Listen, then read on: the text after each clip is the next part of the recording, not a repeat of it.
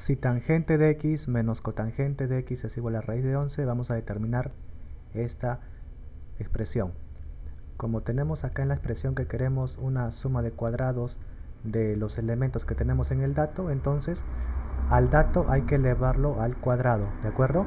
Entonces colocamos acá el dato que teníamos tangente de x menos cotangente de x igual a raíz de 11 elevamos al cuadrado y cuando elevamos al cuadrado se eleva al cuadrado todo lo que está en esta parte y también todo lo que está acá. Listo. Acá tenemos una diferencia elevado al cuadrado. Entonces la fórmula necesitamos de la diferencia al cuadrado no binomio cuadrado. Y la fórmula es lo siguiente. A al cuadrado menos el doble del primero por el segundo o sea a por b más el segundo al cuadrado.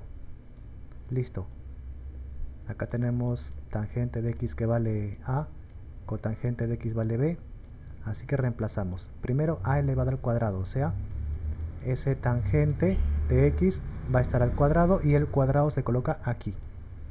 Menos dos veces a por b.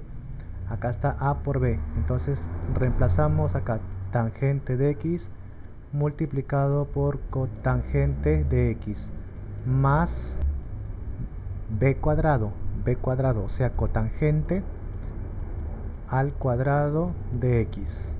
Igual raíz cuadrada con este número 2 se eliminan y solamente queda el número 11. Ya está. Ahora, fíjense, acá tenemos un tangente por un cotangente. Y acá utilizamos otra propiedad. Cuando tenemos un tangente de un ángulo teta multiplicado por cotangente de ese mismo ángulo teta, es igual a 1. Solamente hay que verificar que los ángulos sean iguales. Tangente por cotangente, 1.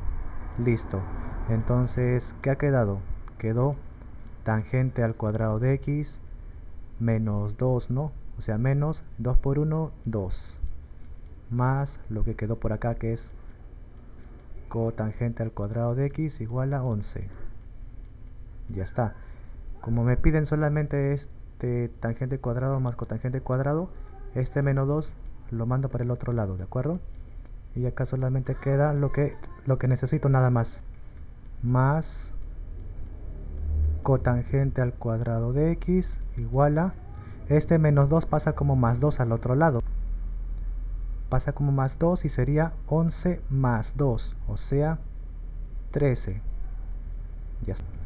Entonces ya se pasó el menos 2 al otro lado y finalmente quedó 13 como respuesta final porque lo que me pedían tangente cuadrado más cotangente cuadrado acá ya lo tenemos. Fin.